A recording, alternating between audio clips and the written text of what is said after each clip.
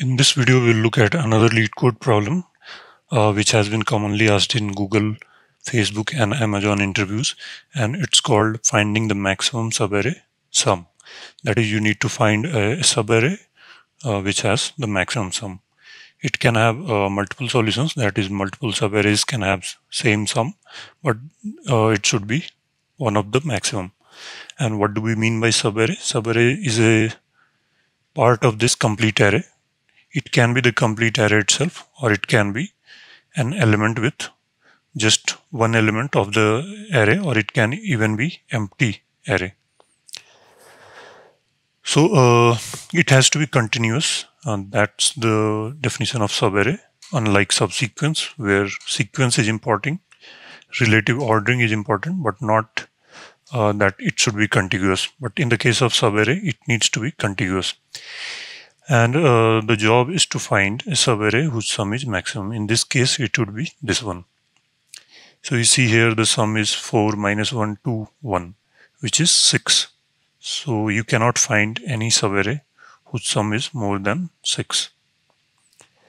So let's see what is the algorithm to do so. First, uh, how many subarrays can be there? So it can start from index i and j. So start and end indices denote a subarray. And how many such pairs can be there? If this, this array has n elements, then it can be from 0 to 0, 0 to 1, 0 to 2, all the way up to 0 to n.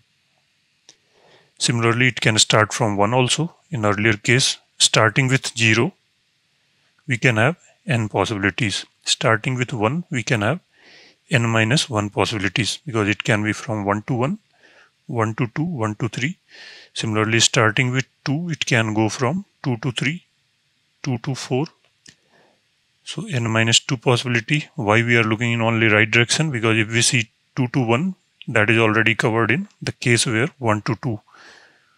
In this case, it was already covered. And 2 to 0, this was already covered here. So every step there is one less and this can be order n square. So you can use a brute force approach. This is the simplest solution. i equal to 0 to n minus 1, j equal to 0 to j equal to i to n minus 1.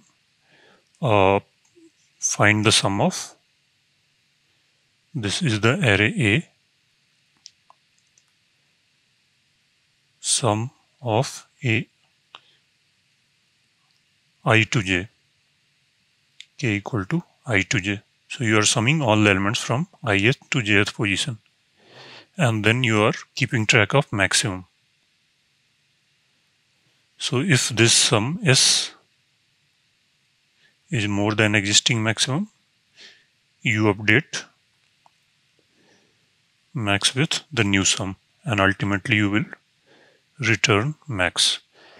This is a very naive solution uh, you are looking at all the possible subarrays and that's why it's order n square because there are n square subarrays. And here also you can see there are two nested loops one from 0 to n second from i to n. Now let's look at an improved solution. And this idea was proposed by Kadane's algorithm Kadane and this is called Kadane's algorithm.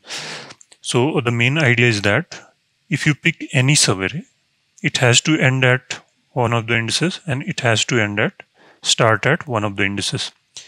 So we are moving from left to right. You can extend the same idea where you can go from right to left, but let's start from left to right.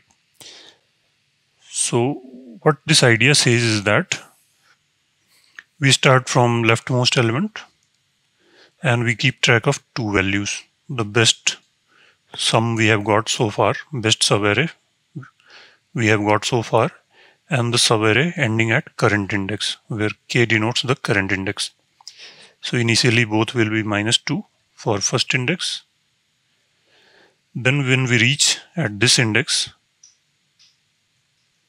this best may or may not be updated, but this has to update.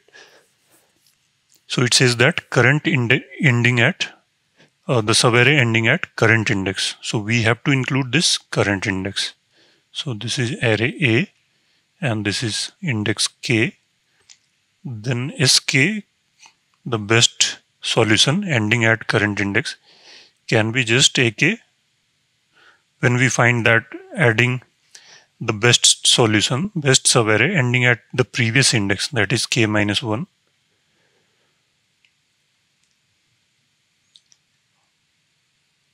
sk minus 1 plus ak. So this ak has to come. So whether or not to include the best subarray ending at previous one, that will depend on which one is greater. So if this is let's say less than 0, then there is no use of including this. This will uh, deteriorate our solution. So we will pick just AK. So in this case, it will be just this one because if we add this one, we get minus 1. If we don't, then we get 1. So this is 1. And the best sub solution becomes 1 because we have got a better SK. So SK is more than S. So S will be updated when we get a better solution. That is, we got a subarray ending at K whose value is more than the existing best subarray and we keep on moving till the end and finally we will return this S. Now why this works? Because let's say we are looking at kth kth index. So we have already looked till k minus 1 and we have already achieved some value of sk minus 1 that is we have achieved uh, what is the best subarray that we can get which ends at this index one previous index so if we add k to it, do we get a value of s which, uh, which is more than the existing s or not? So we calculate sk, the sub array ending at kth index. So let's say this was sk minus 1. So why will this solution work? Let's say this is our final solution. That is the subarray ends at current index k. So when we are reaching at k, what we will consider. We will consider what is the best subarray ending at previous index. In this case it, it it is this value. It can be any value. But we are maintaining this invariant when we are starting from left. We only include the previous solution.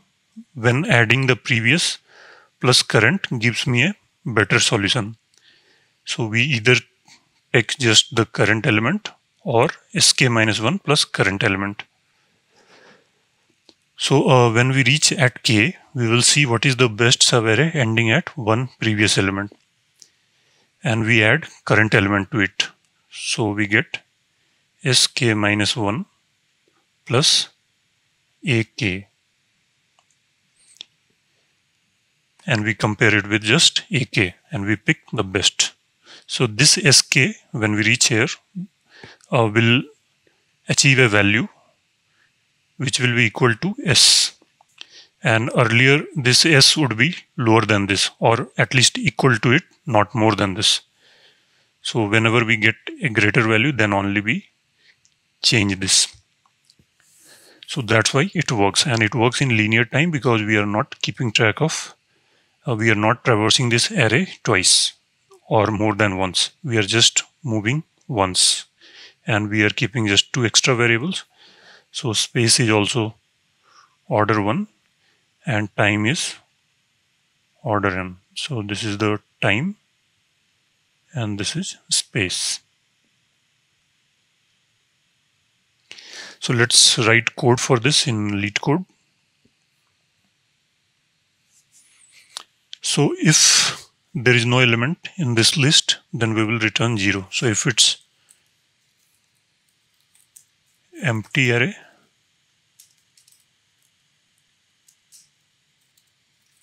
return 0 and then we keep track of sum max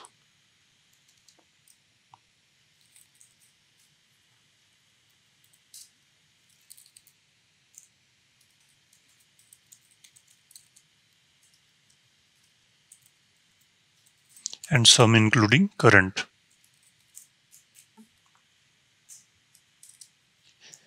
Then we traverse from 1 onwards because 0 we have already taken.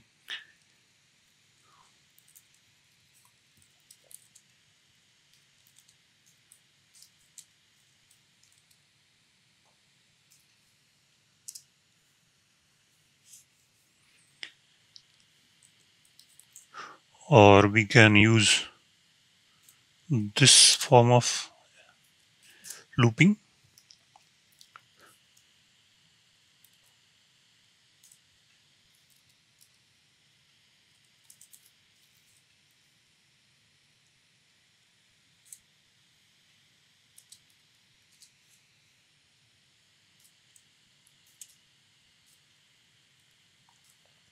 So whatever is the sum including current, which is till the previous index. So the subarray that including the previous index plus n or n. And uh, sum max equal to similarly max of sum max and sum including current. And finally return sum max.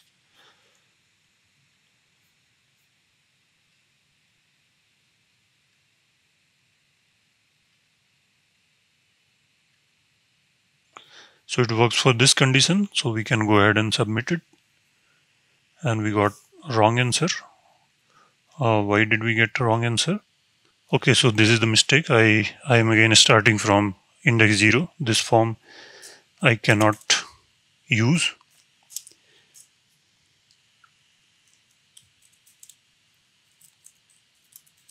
So we need to go back to our previous way of iterating.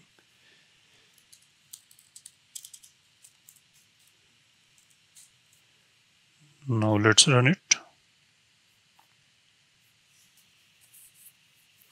Now it passes and it's uh, almost close to 100% both in terms of time and memory. So this is it.